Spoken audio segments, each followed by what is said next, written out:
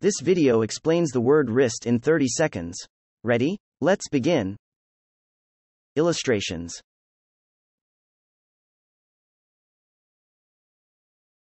Meaning Wrist is a part of the arm.